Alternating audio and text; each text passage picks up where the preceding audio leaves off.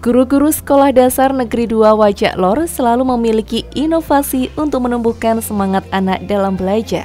Seperti sekarang, sebelum masuk kelas, guru membariskan anak didik terlebih dahulu.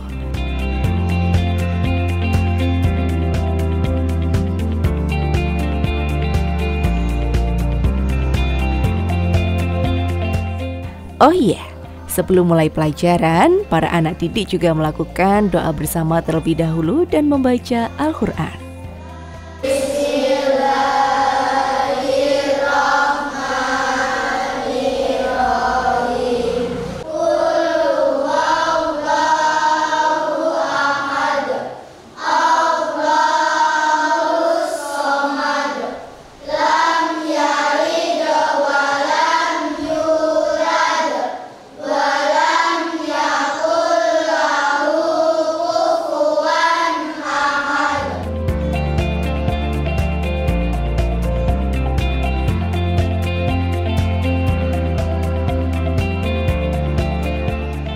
Tak hanya itu saja loh, suasana kelas juga didesain senyaman mungkin agar seluruh anak didik merasa nyaman untuk memudahkan menerima pelajaran dari guru yang sangat kreatif menggunakan beberapa media pembelajaran sehingga anak didik tidak merasa bosan selama pelajaran berlangsung hingga selesai.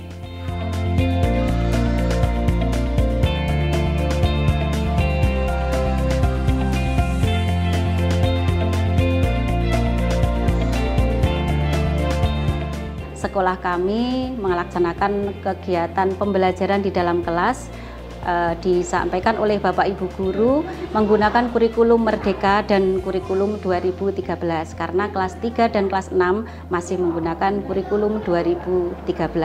Pembelajaran di sekolah kami dibiasakan dengan pembelajaran yang menyenangkan dan kreatif. Untuk anak didik yang suka atau hobi membaca, jangan khawatir. Sekolah ini juga menyediakan ruang perpustakaan di mana terdapat banyak buku yang beragam, mulai dari buku pelajaran, wawasan, keagamaan, dan lain-lain.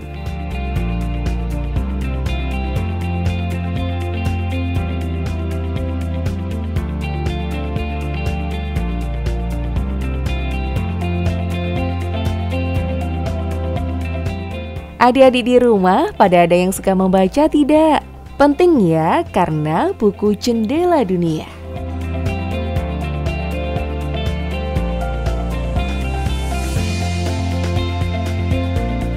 SDN 2 Wajak Lor memiliki sarana prasarana yang cukup lengkap. Yang pertama adalah kami mempunyai ruang kelas yang lengkap, kemudian ada ruang perpustakaan, ada ruang UKS, ruang guru, kemudian ada ruang penyimpanan barang atau alat-alat keperluan anak-anak ekstrakurikuler, walaupun sebagian masih dalam renovasi. Uh, peran komite dengan pihak sekolah, uh, kita selalu sinergi dalam hal uh, uh, perencanaan, terutama dalam penyusunan RAKS, kita selalu memberikan usulan dan juga kita selalu diajak untuk mempertimbangkan dalam hal mengambil kebijakan dalam hal sarana, dan prasarana uh, akademik maupun non akademik. Uh, saya lihat uh, perkembangan SDN 2 Wajak Lor uh, mulai saya menjabat komite itu sudah mulai banyak kemajuan. Yang dulu hanya monoton, sekarang uh, sudah ada kemajuan di tingkat terutama untuk uh, apa itu kegiatan-kegiatan yang tradisional itu mulai ditingkatkan jadi seakan-akan tidak terlalu melulu di HP. Di hari tertentu, para anak didik juga dapat mengikuti ekstrakurikuler seperti saat ini. Mereka sedang mengikuti ekstra kepanduan pramuka yang langsung dibina oleh kakak pembina untuk menumbuhkan kemandirian serta kedisiplinan.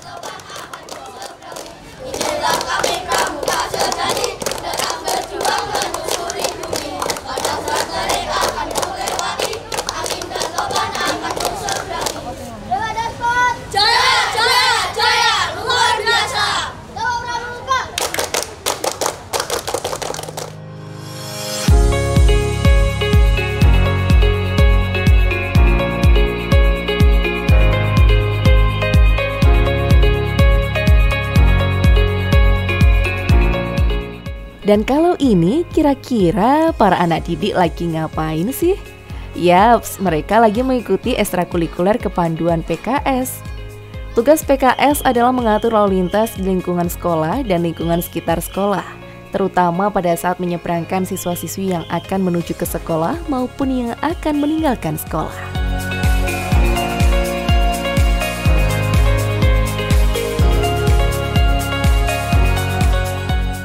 SDN 2 Wajalori sangat berprestasi baik di bidang akademik, bidang aga, keagamaan, juga bidang olahraga. Di sini eh, kejuaraan yang sering diraih, yang pertama kegiatan olahraga. Kemarin meraih juara sampai tingkat Provinsi Jawa Timur, yaitu di dalam lomba bulu tangkis. Kemudian juga MTQ, kemudian juga lomba tari yang kemarin juga memperjuarai di tingkat eh, Kabupaten Tulungagung. Juga nanti eh, SD2 Wajak Lor ini juga sangat banyak sekali kegiatan, baik ekstra, terutama kegiatan ekstra. Kalau kegiatan akademik kita sudah fokus, ini kita eh, di Guru-Guru Merdeka, di mana siswa kita memang kita tuntut untuk eh, selalu eh, mematuhi peraturan dan selalu eh, peningkatan prestasi sehingga ke depannya menjadi manusia-manusia yang berguna bagi bangsa, negara, dan juga agama. Dan di sini tenaganya juga sangat luar biasa, kompak, di mana memang eh, setiap saat eh, diadakan pertemuan untuk menggali dan potensi yang ada di lembaga masing-masing sehingga bersama-sama membantu ikut mensukseskan pendidikan khususnya di SDN 2 Wajak Lor, Kecamatan Boyolangu, Kabupaten Tulungagung.